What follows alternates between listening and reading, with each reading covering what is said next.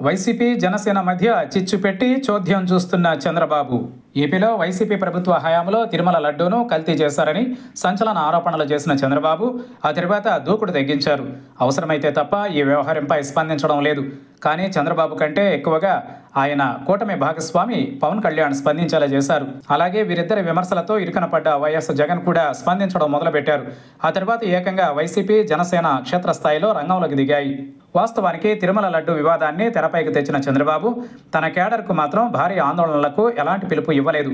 కానీ పవన్ కళ్యాణ్ జగన్ అలా కాదు తమ కేడర్కు క్షేత్రస్థాయిలో ఆందోళనలకు ఆలయాల్లో పూజలకు పిలుపునిచ్చారు. తద్వారా సనాతన ధర్మం బ్రాండ్ అంబాసిడర్గా పేరు తెచ్చుకునేందుకు పవన్ కూటమి వ్యూహాల్ని కౌంటర్ చేసేందుకు జగన్ తమ పార్టీ నేతల్ని క్షేత్రస్థాయిలో తిరిగేలా చేస్తున్నారు. ప్రస్తుతం రాష్ట్రంలో ఎన్నికలు లేవు.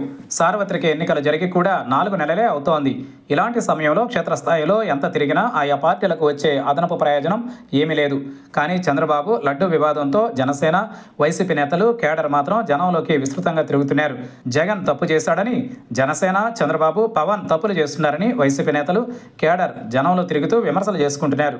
రాష్ట్రంలో ఎలాంటి ఎన్నికల వాతావరణం లేక లేకపోయినా చంద్రబాబు మాత్రం తమ పార్టీ టీడీపీ నేతలను సైలెంట్గా ఉంచి వైసీపీ జనసేనను క్షేత్రస్థాయిలో పరస్పరం విమర్శలు నిరసనలు చేసుకునేలా బిజీగా ఉండేలా చేస్తున్నారనే చర్చ సాగుతోంది. తద్వారా టీడీపీపై వీరిద్దరూ ఫోకస్ పెట్టకుండా ఉండేలా చూసుకుంటున్నారని తెలుస్తోంది.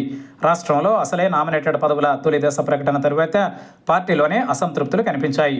అలాగే ప్రభుత్వం సంక్షేమం అమలు నుంచి తప్పించుకుంటోందన్న విమర్శలున్నాయి. ఈ నేపథ్యంలో చంద్రబాబు వ్యూహాత్మకంగా ఈ రెండు పార్టీల్ని అలా బిజీగా ఉంచారన్న వాదన వినిపిస్తోంది.